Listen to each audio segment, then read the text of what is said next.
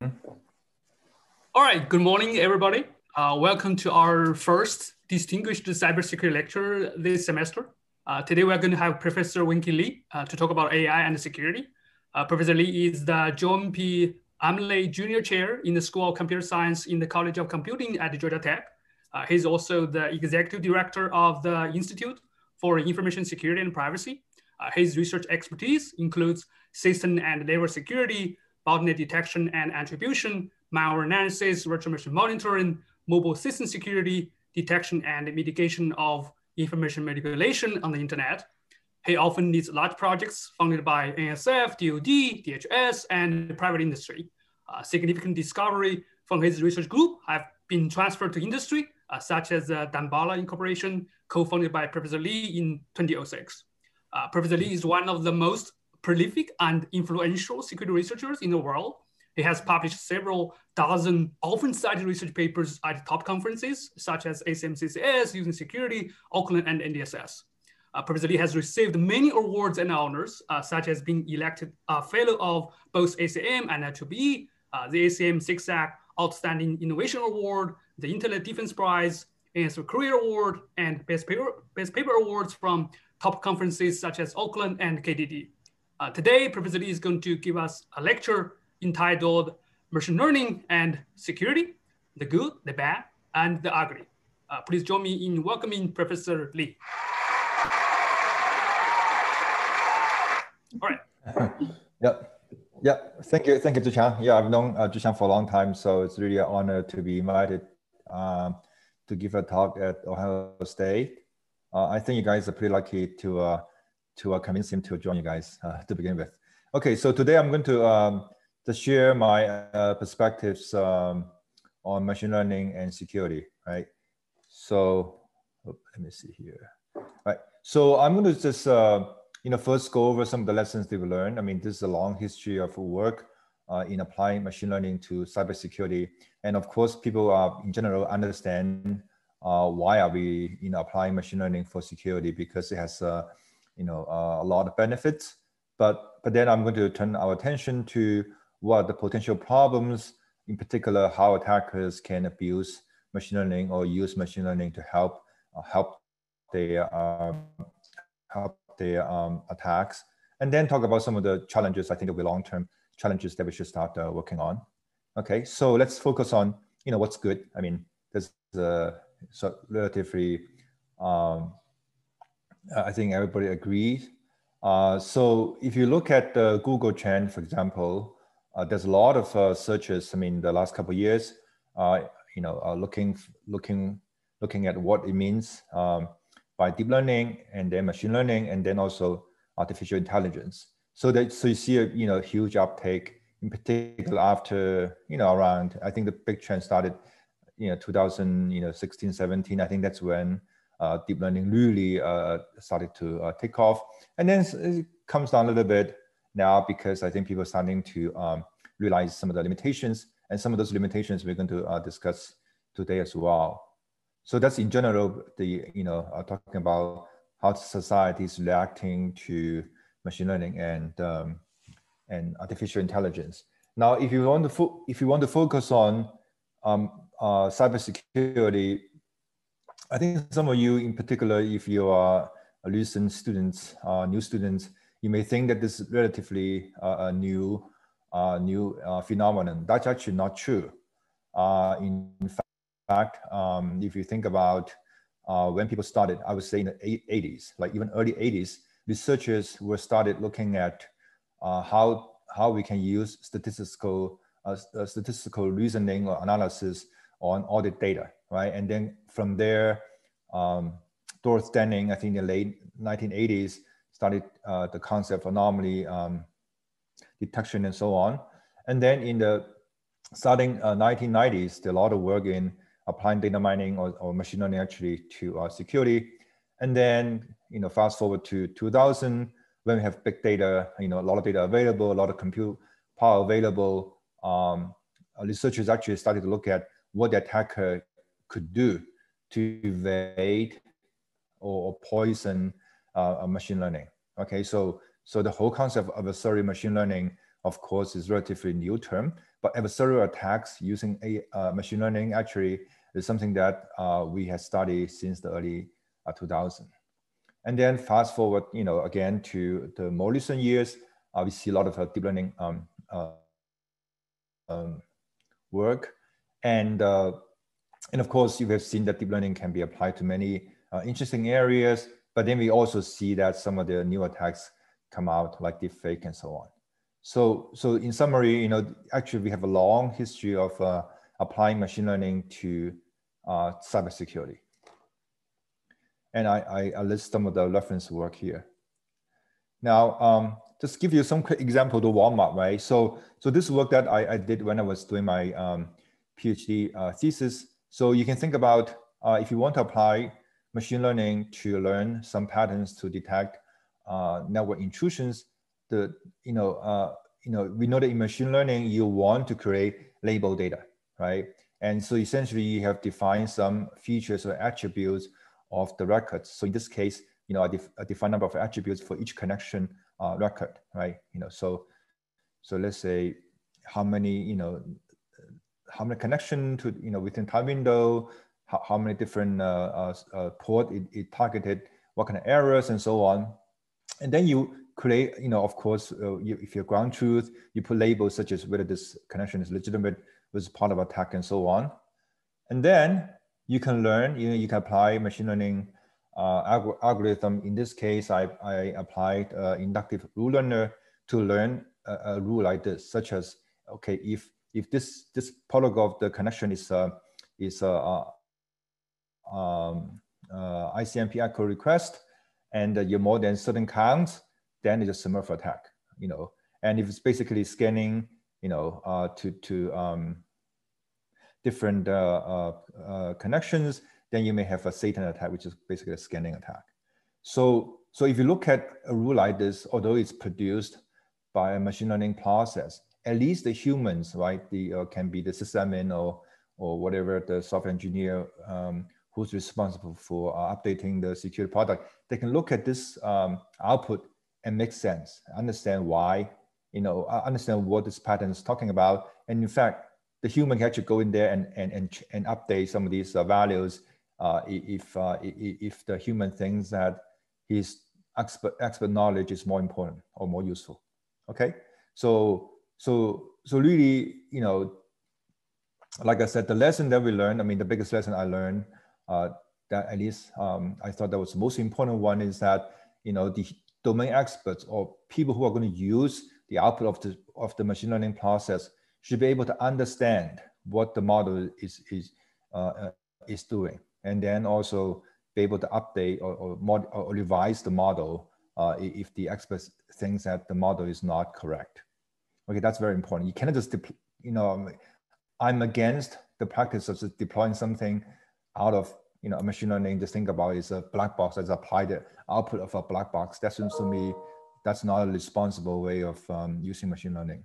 And then really at, least uh, uh, at the time that when i was doing my thesis in the you know um, late 1990s I, I, would say this statement is true up until deep learning really took off in uh, after 2015 in the sense that you know if you can create some very good features and you have a very good data, you actually don't need very fancy algorithms. In fact, some of the machine learning people would tell me that either use the simplest algorithm uh, that, that would normally uh, work very well, meaning that really if, if the features are good, any algorithm would, would do reasonably well, okay?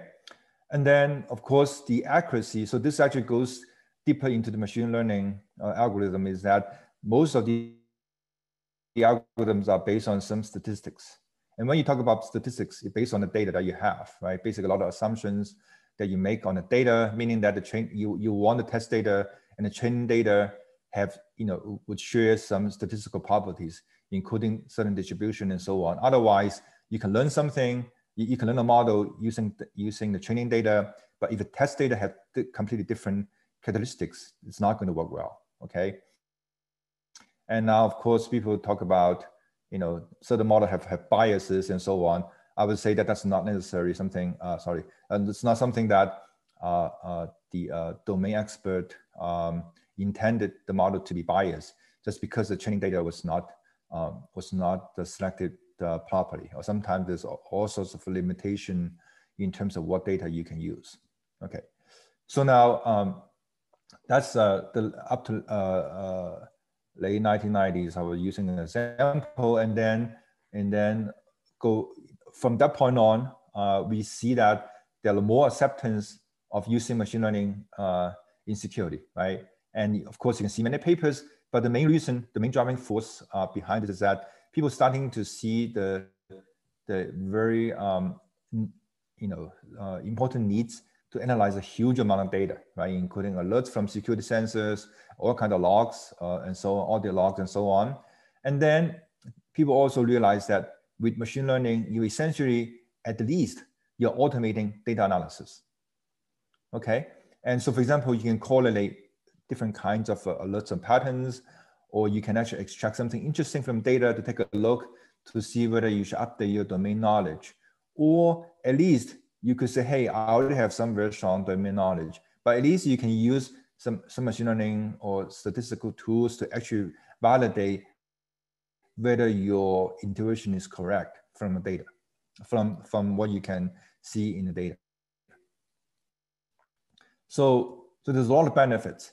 And uh, in fact, if you look uh, or talk about, if you look at the white papers of uh, the major security vendors, they all say that they use uh, machine learning uh, in the products and services. Now, how how much they're using it, you know, it's up to you to to figure out. But they all say the, the fact that they all say they use machine learning means that they all understand machine learning is very useful and it's very important. And of course, you know, most researchers have embraced machine learning, and you see so many papers uh, uh, uh, on using machine learning uh, to um, automate various kind of security analysis. Now, um, what's the current, you know, current hardest uh, trend or technology in machine learning? And of course, that's uh, deep learning, right? So that's actually, uh, all, you know, people think of it as an accident, but actually not quite. One is we are in an age of big data. We have just a lot, a lot of data, right? I mean, this, I mean, it's almost like we are in a, a positive uh, feedback loop, right? The more, the more data we have, the more models we build, you know, and deploy them more, and then we want more data. So you basically keep collecting more data, deploying more uh, system of sensors to to collect data and so on. And then, and then of course, you know, we increasingly have more and more powerful computers, you know, uh, from cloud to to um, to some of these uh, big corporations having their own uh, uh, super duper uh, computing systems. So that you know, combining big data and uh, and uh, very powerful compute power, then you now have deep learning, right? Now, from an algorithmic point of view, you know, you can think about deep learning as a multi layers of a neural net kind of, you know, the approximation. Essentially, it's a multiple layers of data transformation that you transfer some raw data, you know, some intermediate representation, and eventually you you have you have the final um, final uh, model or, or, or, or, prediction. Now, one thing that deep learning would say is that, you know, with deep learning, you don't have to do any feature engineering. I, I kind of think that's an incorrect statement. Um, you know, you, you, you need to always format your data properly and filter out some of the junk before you apply deep learning. Now, of course, the amount of, of feature engineering is very, very uh, different from the from the um, from the days of the 1990s when we had the when we apply classical machine learning uh, algorithms, right? Uh, so there you really have to encode a lot of domain knowledge into the features. And deep learning is supposed to uh, with deep learning, you, you don't have to do that much of um, feature engineering, but is it zero? Uh, I, I, I don't believe so. So, so anyway, so, so, th so this is a, a matter of a debate, but I'm going to get back uh, uh, to, the, to this point a little bit later, okay? Uh, and now, of course, you know, with deep, deep learning, one of the, one of the, um, um, one of the um, shortcomings people are pointed to is that you know, sometimes we, we find some very easy attacks to deep learning models. And, and then and then people, you know, and in particular when you don't have very good feature engineering, you don't even know what it does. And so it's, it's sometimes it's hard actually, you know, uh, reason about uh, its robustness and completeness, right?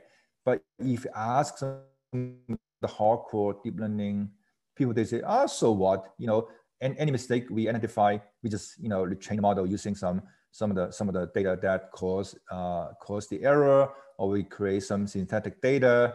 And and and their point of view is that the more data you provide to the deep learning process, the more complete a model uh, you can produce. Okay, first, first of all, whether that's true or not, it's, it's, it's remain to be seen. Uh, I'm sure there are a lot of uh, uh, improvement in, uh, in, the algorithm that they have, they have to put in. Second of all is that you would never know when it's sufficient. You cannot theoretically say, oh, by the amount of data that I put in, I guarantee, you know, I have learned a complete uh, model. There's no such thing that you can prove their model is so quote unquote complete. So there's always shortcomings uh, like any other uh, algorithm. Now, of course, like I said, you know, deep learning has been used in many interesting uh, applications, right? Most, I think most successful ones will be image and face recognition and so on. Um, so, so deep learning has been uh, used in, um, in, in security, uh, of course. Uh, in fact, you see a lot of um, um interesting or new uh, um, work. For example, um, you know, we, we can, you know, for the from a defense point of view, we can actually, you know, use multimodal data to um, to do continuous authentication, uh, meaning that not just single factor, but multiple multiple factors and multiple uh, dimension of uh, of human behavior, for example. And then you also for attack attribution, in extract, you know, you know, multiple, sometimes subtle uh, um, uh, um, signals, right? For example, you say want to do malware authorship, you, you look at, you know, not just the coding, but also the comments and, and uh, where's, where's being job is being used and so on. So the multiple uh, uh, sources of um, um, uh, data that you can actually uh, analyze and correlate the discoveries and so on and so forth, right? So meaning that, you know, machine learning really or deep learning really help us uh, do deeper and more complete work when we try to um, try to do security um, and uh, security analytics. Now, um, so so to summarize, you know, I mean, I think everybody would agree that you know it, it's a good thing that uh, we finally realized. I mean, I think, and to be honest, when I finished my thesis, there was still a lot of uh, a lot of uh, doubts in the community in terms of why are you using machine learning for security. So I'm very glad that you know after 10, 15 years, and particularly in the last couple of years, everybody say yes, okay, yeah, machine learning is a good thing. Um, so I, I, I, don't hold it, I don't hold it against anybody that didn't realize that uh, um, earlier, right? Just because you know, I think nowadays it's so obvious that we need automatic analysis, right? Um, we need to automate uh, uh security uh, uh, uh, analytics because there's so much data that we have to deal with every day. Now, we're going to next uh, go into some of the shortcomings or potential or actually realistic um, problems that the attacker, sorry, I keep, the attackers would abuse machine learning, right? So the point here is that just because we are now using machine learning um, very widely doesn't mean that the shortcomings will just go away automatically. In fact, I would argue that the shortcomings actually would get uh, magnified. Now, so what are we talking about? So we're going to talk about, you know, uh, a few examples. Basically, you can put them into two kind of categories. One is that what the attackers would do to automate and make the attacks more powerful, right? So, I mean, obviously, you know, machine learning is all about automation, automating a lot of data uh, uh analytics and uh, creating uh, models. And the attacker can do the same thing. They can basically automatically construct, you know, malwares and attacks and so on. Um, and, and, and you say, look, I mean, so what? Uh, we know that the machine learning model can be abused or has shortcomings. We know that in very uh, uh, various kind of applications, but you, you have to think about that security. By definition, we have a high bar, okay? Be because um, because uh, security is, is about the safety of a system, for example, right? And then the high bar means that we have to hold it at a high standard, higher standard, we also have to uh, recognize that the attacker, they're out there, the attackers are out there to actually try to defeat uh, our defense uh, our defenses, right? Even though our defense system is uh, using machine learning, so what? You cannot just assume that the attacker will not use machine learning. In fact, you should always assume that the attacker will use machine learning, and their goal is to defeat you. Okay, so that's a much higher bar than other application that you could argue is that's that's not as critical.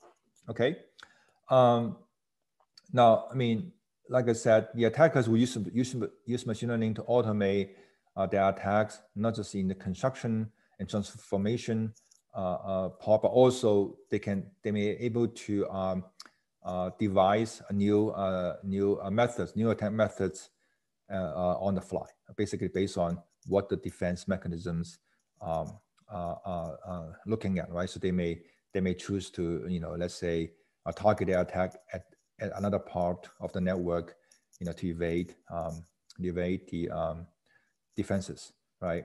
So that's one aspect. Another aspect is that the machine learning algorithm would also, I mean, sorry, the, the attackers may actually, you know, um, study the machine learning uh, process and then try to uh, mislead the training, uh, the machine learning process to learn something uh, uh, not useful. For example, that's what I call about the, the uh, adversarial learning, meaning that they can pollute the training data.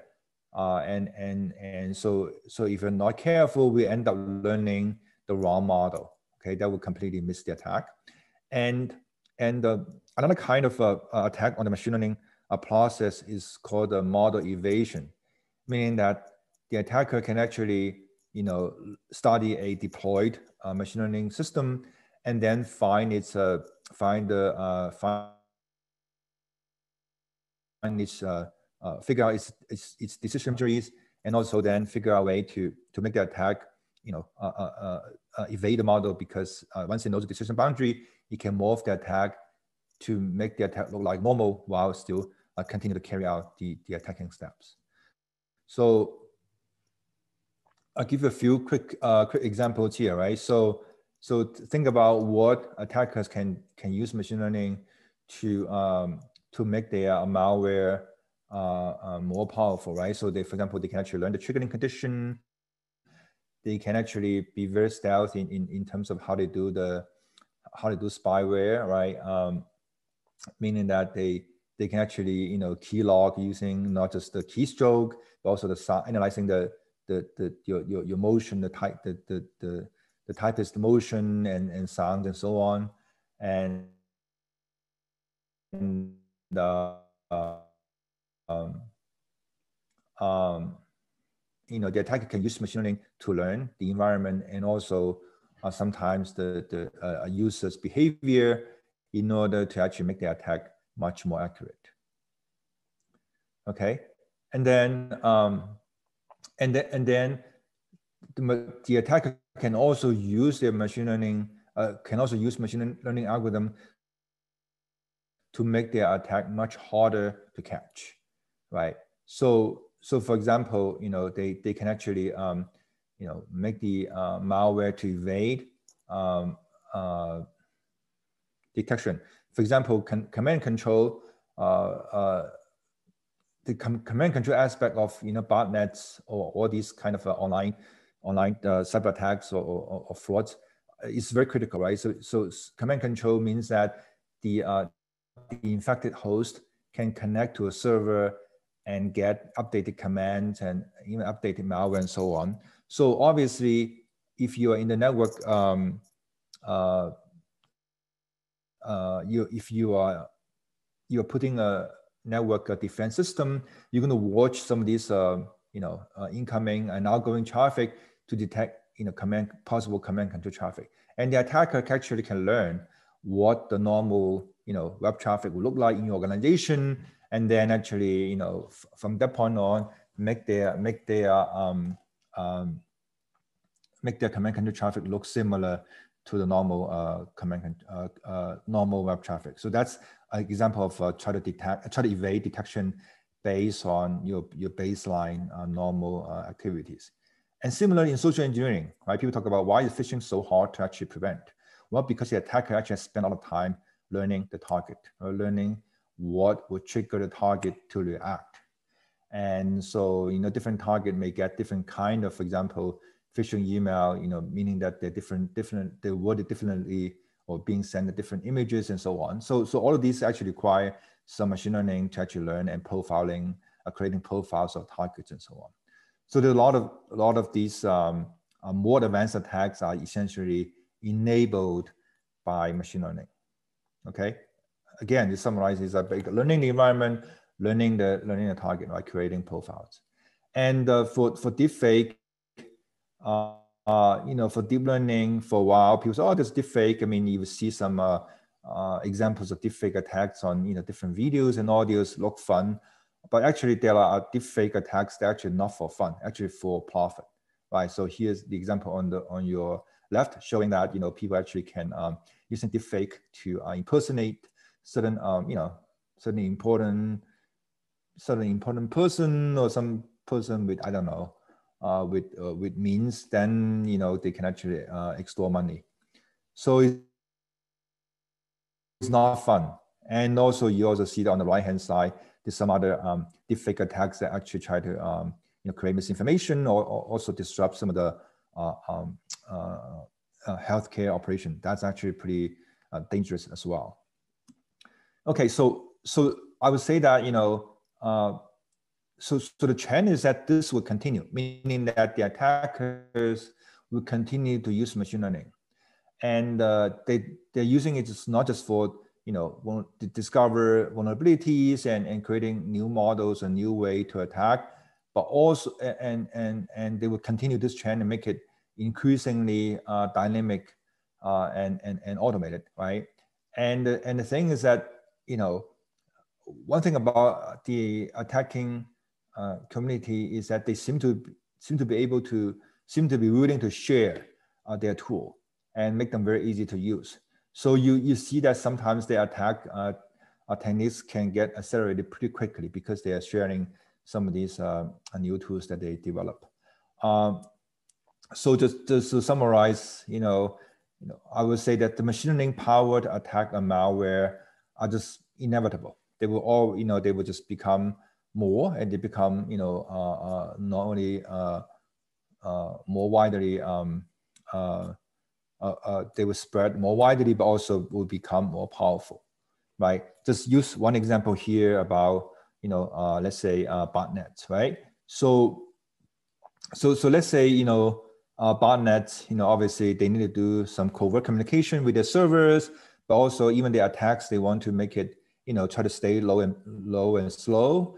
Uh, so, so previously we say that they use this so-called remote static game, meaning that the, the attacker who actually created the bot, uh, botnet, they will hard code, they will hard code the exact, they will hard code the specific methods that the uh, botnet will use to communicate. For example, use Skype. So it's very hard, hard coded. So which means that if the defenders block Skype, then the botnet's dead. Okay. So you know, so that's the old kind of old technique the current current uh, botnet they will use what we call local static game, meaning that they will actually try to shape their traffic, right? We call traffic shaping to to make to make the communication look like the normal traffic. Okay, so that's that's pretty much uh, uh, widely used now the technique, um, and and, uh, and and then and then uh, uh so what we what we're going to see next, uh, in fact, some of them already seeing is that we, uh, they use so-called local dynamic game, meaning that the the botnet come in and uh, sometimes with a whole set of uh, possible methods, or sometimes they have a machine learning algorithm that basically on the fly would develop something uh, new that you know uh, just in principle, as long as you can communicate to outside a server, it doesn't really have to be with a specific um, um, method.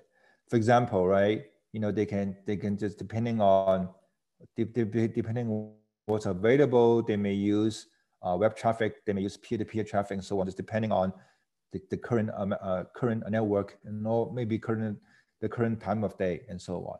So meaning that nothing is set in stone. Uh, instead, the botnet will actually learn uh, learn just not only the normal uh, profile of the uh, of the users of the network, but also what the defense system is doing.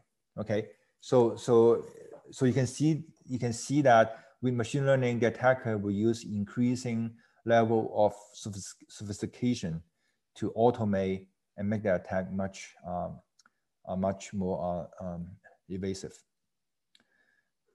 Okay, so so that's what the attacker would do uh, using machine learning um, to uh, um, to automate some of some of these uh, uh attacks and make it uh, make the attacks more evasive.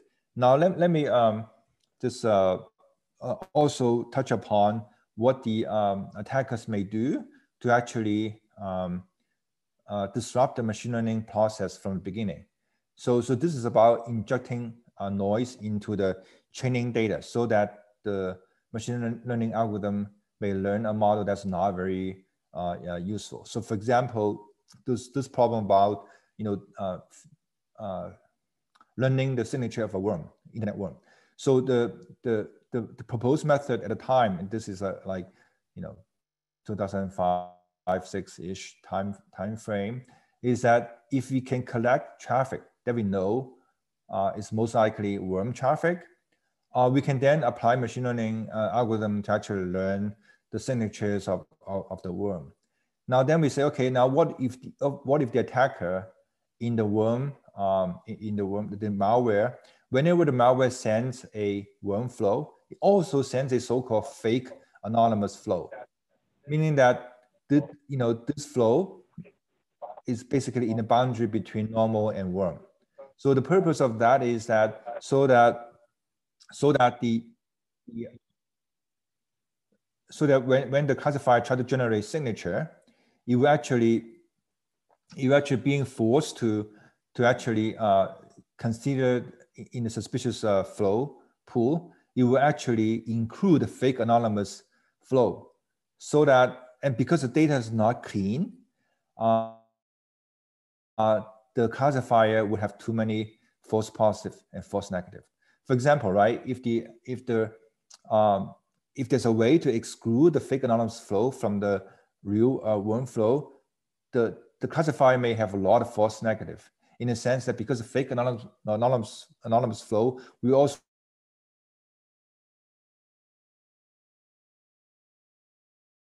also include a lot of legitimate patterns of the worm. See them as uh, quote unquote malicious enough, you throw them away. Then you may throw away some useful patterns to detect the real worm. So you generate false negative.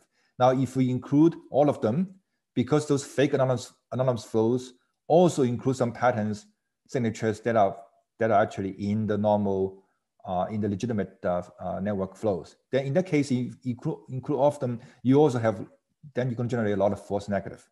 Oh, sorry, a false positive because you say, you know, as long as you have, as long as you have this, these patterns, you are, you are, uh, you are malicious. But in fact, those are, you know, uh, those are also uh, patterns of uh, legitimate flows. So, so the point is that with the fake anomalous flow, if you did, de design them very cleverly, then the machine learning algorithm have no have really no way of producing very good uh, classifier. It either has too many uh, false positive or false negative. So we basically show that the attacker can actually, by introducing fake anomalous flow, can mislead the machine learning process to produce to produce something that's not useful at all. And so you say, okay, now to deal with this problem, I just want to do a better job in validating the training data. But the thing is how you do that, right? How do you do that? You say, well, I, I have a way to, you know, classify and or maybe cluster data into different clusters so I know what are the normal ones, what are the, uh, you know, uh, malicious ones and, uh, and, and the fake ones. Well, I mean, if you can do that already, that means you already have a very good classifier. So what is the point of, you know, using machine learning and train yet another classifier? So that's that's a problem that that's not easy to deal with.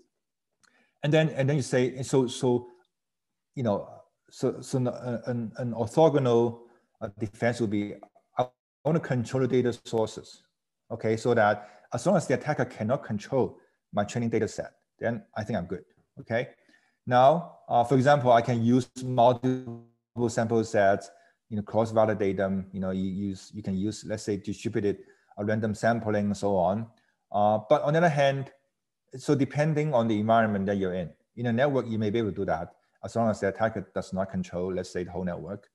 Uh, but on the other hand, if the data source is kind of open, I, I, I mean, this is open environment such as the internet, then you, you may not be able to actually control what the attacker would do to the input data. For example, here's a quick example of what the attacker could do, uh, you know, so-called reputation management. So suppose you want to, you know, you know, fix your Google results so that you, you look good when people search you. So the so these companies can actually do this for you. They would actually hire people, you know, let's say through um, Mechanical Turks, uh, Amazon. They ask these people to go into Google, type in your name, like search for this person, and then and then locate that particular URL that they want these people to locate. Okay, and, and what does URL say? This is a page that talks about how great you are. So let's say different users have different pages that they need to search and then look at the page. These all these pages are, are manufactured by the company to manage your reputation to all say good things about you. The point is that when you hire enough people doing that, you you are telling Google or you're providing signals to Google that when people search your name, they want to look at positive things. And then after a while, Google will put all these positive pages about you uh, in, in, the top search results. And then how to how you fix your uh, reputation. Now, to me, that's a classic, you know, uh, data poisoning uh, a problem. Now, but Google may not uh, uh, agree with me. So that's something that you think about. Okay. So meaning that that's example of open environment. In the open environment, that's how challenging it is to actually control misinformation, disinformation, and so on. Meaning, how do you know the user actually, you know, are really interested in positive things about you versus they're trying to try to manipulate. Okay, uh, I don't want to go into politics, but you know what I mean. Okay, so another aspect of what the attacker would do to uh, disrupt the machine learning process or the model that that produced by machine learning is so-called evasion attack. So, for example, the attack the attackers can analyze the deploy model, right, and then find out the decision boundary. For example, you can send some data and see whether the IDS will reject it or not. So by doing that, you actually you're creating some chain, uh, some label data data, right? And from there, if you know the sorry, if you know the machine learning algorithm, you already have the label data labeled by the machine learning uh, algorithm because depending on whether the that data get passed through or not, you're sending from here to here, right? If the data gets through, you know it's positive. Uh, you, you know that the, the machine learning algorithm thinks it's, uh, is legit. And if get rejected, you know the machine learning algorithm recognizes that it is uh, um, uh, attack. So you actually, as attacker here, by sending such data, you actually figure out what the machine learning algorithm is doing. You essentially create some label data. And if you know the algorithm, then you can actually learn, learn a kind of a baby, baby version of this uh, model, and then using that model as a way to test how you can morph your attack to evade to evade the algorithm. So we did this experiment, you know, so for example, on the left, you see that without any any blending, right, the attacker, the green one, will look very different from the normal one. So meaning that the attack would be detected. But once we figure out the decision boundary, okay, we can actually morph, morph the attack so that it fits the normal profile, but, but still carry out the attack uh, activities. Also that meaning that evasion attack actually is quite possible.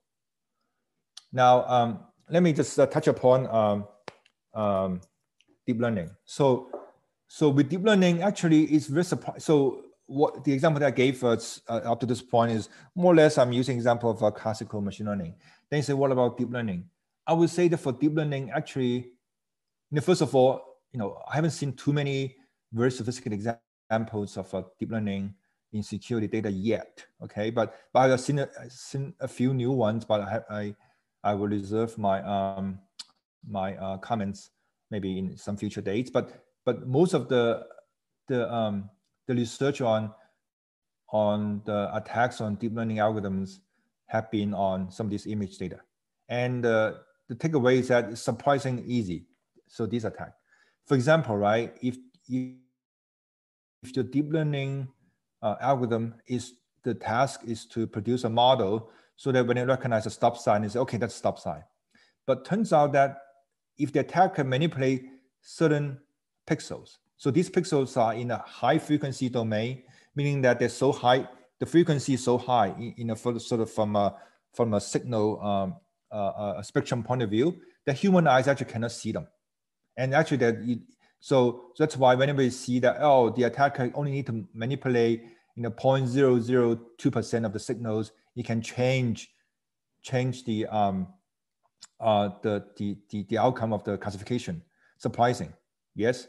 But, but those are those are signals that human eyes could not see. For example, human eyes see these two pictures as the same, but the deep learning algorithm would misclassify which also means you, uh, which also means that the deep learning algorithm, the model, is actually not looking at the most, most important features of your image. So that's another shortcoming of uh, deep learning that people don't un, don't know what it does until until they attack until there's some attacks would would would demonstrate that they are looking looking at the, the wrong thing. But anyway, that's something that we're going to get to that uh, uh, uh again a little bit. But to defeat such kind of attack, you know, one observation I have is that we should ignore what the human ignores. Meaning that, hey, look, if there are certain signals that are in such high frequency uh, um, uh, uh, part of, of the spectrum that human eyes cannot see, we should exclude them. Okay, because what happened is that your machine learning based model is supposed to automate or um, or do the work on behalf of the human. So if something that to human it doesn't make sense or human would ignore, your model should also ignore. Okay, because the like I said, the machine learning model is supposed to replace a human, not to look at things that we we, we don't care. Okay, you should only care about things that we care. So so so in, in this case, since the manipulations is on signals that human eyes could not see, if you compress them away, your model will work just as well as human. Okay, so this tells you that, you know, one thing to, to deal with these kind of attack is to make sure that we actually process our data so that actually it reflects, it reflects the domain that we're on, right? We use domain, our domain knowledge to control what data should be used, okay? So to summarize the bad, you know, essentially I would say that machine learning has enlarged the attack surface. The attacker can automate the attacks, right? And uh, and we just, you know, I, I think current state of machine learning, including deep learning, is that we cannot simply trust trust it automatically. In particular, for you know uh, uh, critical applications such as security.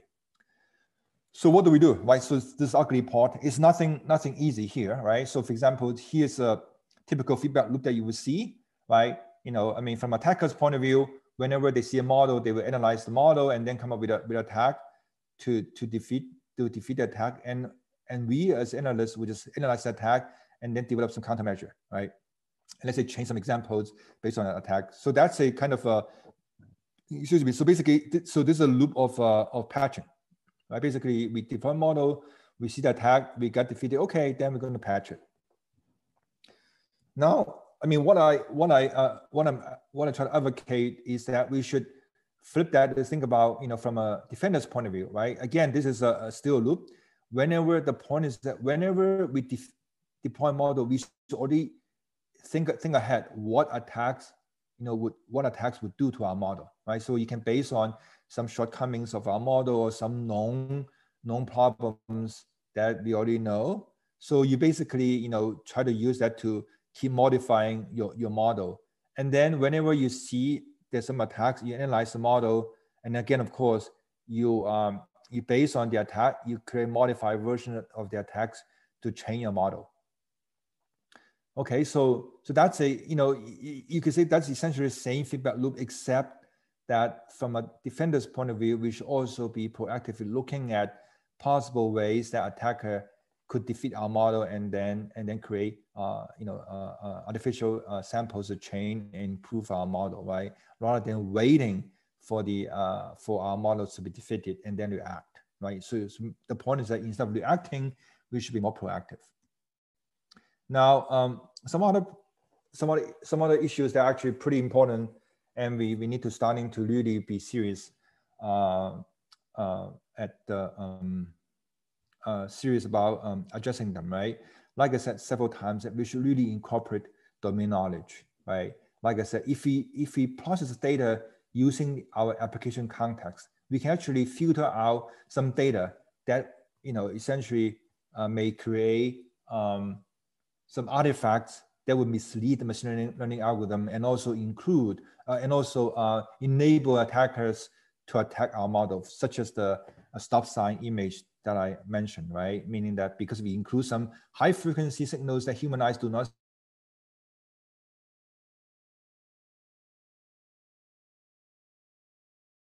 see, you know, that actually creates a problem. In a sense, you know, you know, by restricting our data to to what the application context uh, uh, uh, would, would need, you are essentially um, controlling the attack surface, so that uh, so to speak. You don't just open up everything for the attacker to manipulate. And then you also, of course, always, always include adversarial examples. So this is more, more, more on the pro, proactive side to actually test uh, and find out uh, weaknesses of your model.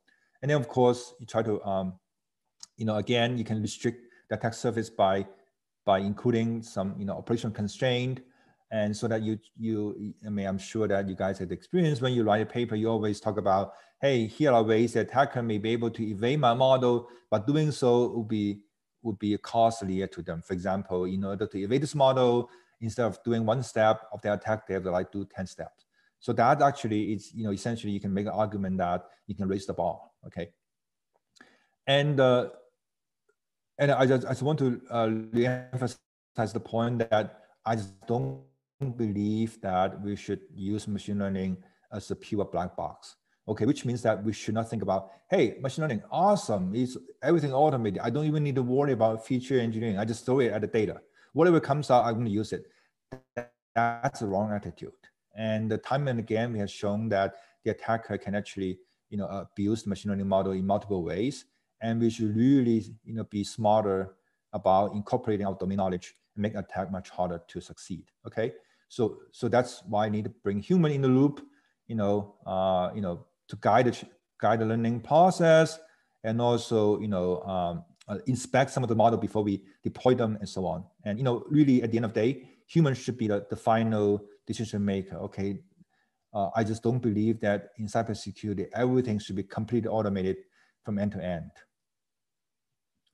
And uh, now, in order for human to be involved and be effective, the model has to be what we call explainable, and that's actually a, a, a continue to be a huge challenge.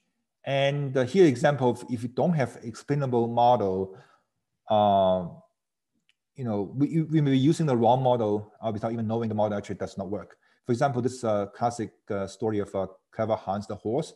Suppose if you say, uh, Hans, what's two plus three? And horse would tap one, two, three, four, five. People say, wow, this horse is genius. But later on, a psychologist find out that actually the horse did not learn how to count. It learned how to actually. So let's say you say, hey Hans, what's one plus four? You know, Hans would, would tap one, two, three, four, five, and then the people's faces will light up. Then he knows that's when he should stop. And that's all it is. He does not know how to count, but he know he learned how to actually look at people's face, faces and then react. So he's essentially it's using the wrong model. It doesn't. I mean, so so which, which means that if you give uh, uh, uh, how to put it, if it is, if you put a straight face and say, Hans, what's two plus three? It would keep counting, keep tapping if you don't show any emotion. So that's one way to actually, I mean, that it took a long time, surprisingly, it took a long time for people to realize that the model was wrong, okay? And we don't want to repeat that. Now, coming back to reality of what we do, actually it's pretty, pretty not straightforward. For example, you know, one of these uh, uh, model that we uh, tool that we use for explanation called SHAP, right?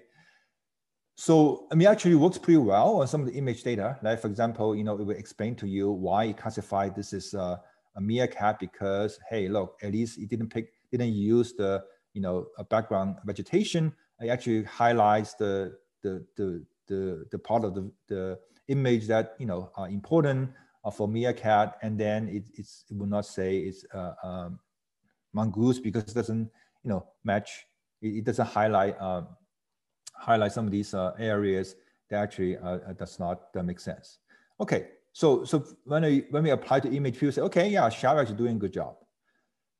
But what what if you try this same kind of tool to our security data? Suppose we have, you know, using deep learning, right? We use uh, malware and basic blocks, uh, you know, as, as, as input data to train classifier uh, to classify uh, uh, malware. So so how do we know that this, you know, what? So so let's say the, the model says this is ransomware, this is spyware. Okay, but if we look at the explanation, can you actually understand why this should be ransomware and this should be spyware, right? So what it needs at least the next level is that try to explain contextual information about the model output. You know, basically you reason, reason almost like you have yet another level reasoning of the model's output in order for us to gain some insights of why this is mal, uh, ransomware, why this spyware. Just to summarize, the current model, current explanation model doesn't really, really provide us any semantic information about what's being learned.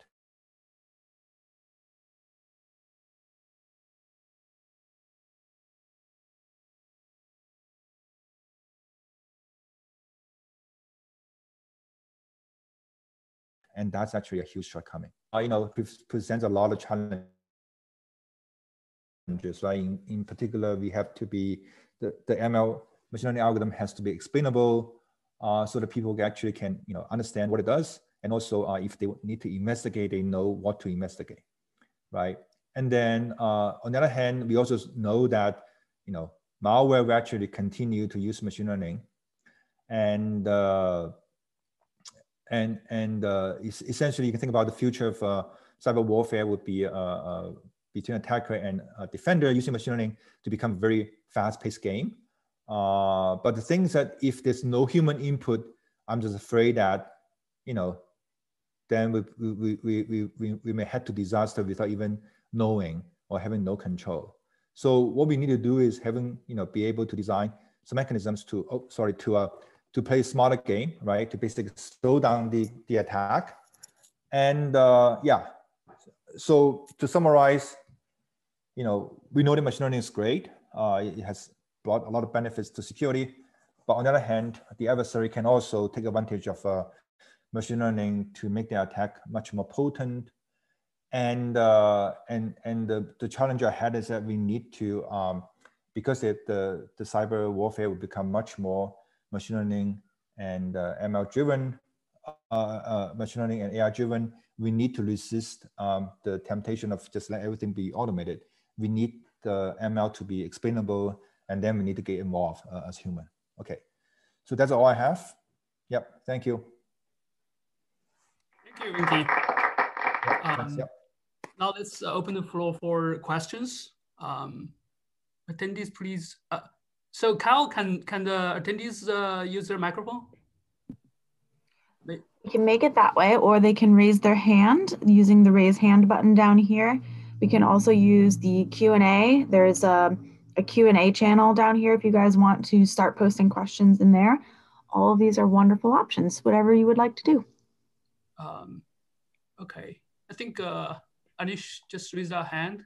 So we have to let. So um, let me take a look. I mean, how do I look at the, um, how do I, how do I look at the, uh, let me see, maybe I should. Uh, okay, I should be able to unmute him. Give me one second. Yeah, there maybe, you go, maybe, Anish. Yeah, you should be able to speak up. Yeah. Yeah. Yes, I was able to unmute. Wenke, uh, thank you for an for a wonderful talk. Yep. Uh, perspective and thank you. Yeah, broad and deep. Yeah. So you know, I one of the things which one finds, especially for security, is the challenge of accessing, you know, relevant data, sufficient data. Mm-hmm. Uh, so, have you? How do you go about that? What are you doing to even find ways in which you would reduce your need for data? Any thoughts there? Yeah, that's great question, right? So I think it depends on the kind of security work that you want to do. Um, so for example, if you want to uh, do anything uh, with malware, there's a lot of uh, places that you can get malware. Uh, some academic institutions, uh, some of the um, even some of the services online. Let's say you can go to VirusTotal and ask them for data they may be able to share enough a sample for you to start your, your work. And if you are interested in uh, other areas such as let's say uh, you want suppose you want to do uh, software software vulnerability analysis and there's a lot of uh, uh, interestingly there's a lot of um, uh, data sets out there including NIST has a data set and then also the people also use GitHub and so on. I mean I think you're right. I mean it would, nice, it would be nice to have a standard data set out there that people can use in particular for network data. that has been continuously to be a challenge uh, when people uh, worry about uh, privacy concern and and so on and so forth. Yeah. Yeah, I, I, don't. I mean, I'm sorry. I'm afraid I don't have a great um, uh, answer to that. But I, on, on, the other hand, I think normally if you reach out to our colleagues, uh, if it's let's say if you read a paper that look interesting, if you reach out to the colleagues, sometimes you may be able to get not only the tools but also the data set that they use. Yeah. Right. Right. Yeah. Um, but you, haven't found the need for synthetically generating data. It's really uh, data is somehow made available from these existing uh, existing attacks. Yeah, that's great question. Databases. Yeah, great question. Yeah. Right, right. So great question. I suppose you want to do vulnerability discovery of, uh, let's say Linux. In that case, you don't need the uh, data, right? You just basically hack it, you know, whatever. Now, suppose you say, I want to create a model, deep learning based model to detect um, PDF malware. So in that case, you know, my students would actually collect, you know, I think there are a lot of ways that you can collect some PDF uh, documents. Uh, and then also you can then, up, then you, you probably have to, um, to hand code uh, some of these uh, well-known attacks to create a PDF malware. And they also, every now and then, there's some samples of uh, malware that out there that you can you can use. Now, I always tell students that you know the ideal sort of uh, experiment will be that you have both the synthetic data and also the real data, right?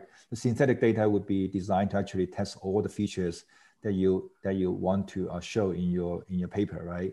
And then the re, the real data would say, hey, look, there's some real, realistic examples out there. So ideally, ideally, you want to have both. Yeah. Um, Daniel Watkins and Theodore Allen both have questions. Daniel was first and is currently unmuted. He would like to know. Um, who is a proponent of using no human involvement for AI slash ML. Are there advantages to that? I'm sorry, can you read that question again? I can speak if you'd like. Go for uh, it. I was curious to know yeah, if, okay, yeah, sure. who is a proponent of not using human involvement for AI or ML? And is it just laziness that you said we need to resist the temptation to, you know, not be involved as a human, or are there actual advantages to you know not having a human involved so yeah i mean so temptation okay maybe temptation is the, the wrong word but i, recently contacted uh, some of my uh, former uh, students and so on. They work